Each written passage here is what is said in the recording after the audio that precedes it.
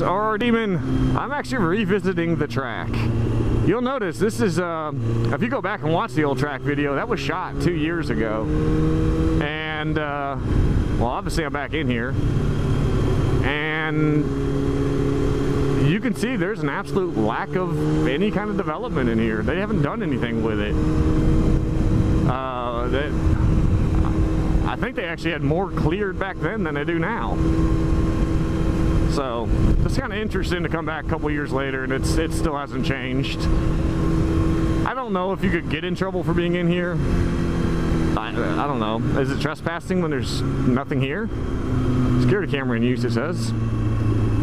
Um, but I guess if you're not making a complete ass of yourself, I, I doubt anybody's really going to give a damn. Uh, worst case scenario, police might come in and tell you go away. But fun place just to get a little little bit of lean going. I don't think I'd go nuts in here. I wouldn't have gone nuts in here back then with the amount of debris and sand, and it's gotten worse since then. But essentially, um, what they did back then was they did time trials. They would start off at a given point and I don't know if they would do a flying lap or a standstill lap, but it was basically whoever can get around in the shortest time, you know, had the, the lap record. So, something I actually never participated in, so I couldn't tell you if they did a standing start or a flying lap, but it was something to me that it, it didn't appeal to me to go around this place as fast as possible, braking as hard as I could to try to get a great time in. When you're talking about sand and curbs and gravel and all the other shit that you see on the ground here, it's not worth dropping my bike and probably busting the shit out of my bike.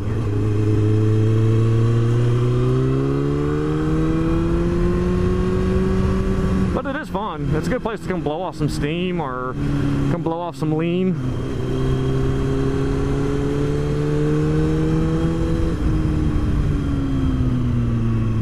It's just, I mean, it's just neat to see all these years later, literally, and it's still nothing here. Just a fun place to go screw around.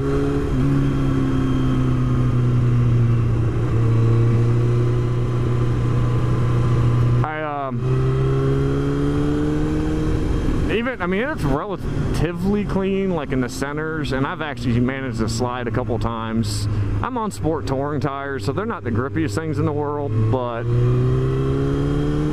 I doubt that the tires have that much to do with it. It probably has a lot more to do with uh, the amount of debris that's in the street here, so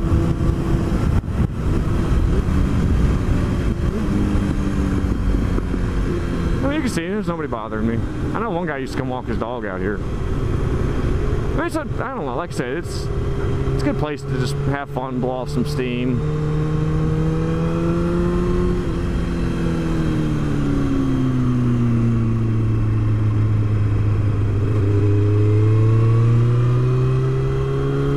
All right, one more time around.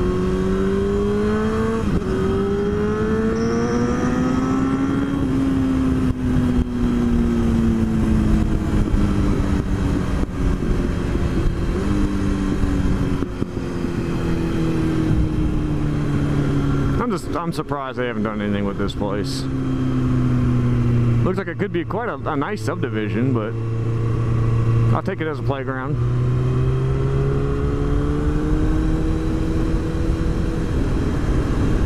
Now this one, this has always been the worst turn for how much shit's in the road.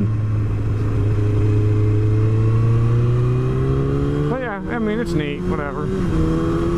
I think I have about the same amount of gear on. I have riding boots, you know, leather gloves, riding jacket, helmet. Nothing, nothing different. I don't think I'd even, honestly, I wouldn't strap leathers on to come in here and try to get a knee down anyway. It's just, it is not that clean. And it's not worth the, it's not worth putting my bike on the freaking ground to try to be a, a Rossi over here. So anyway, that's the track revisited. Still here. Still untouched. So, ta-ta for now, track.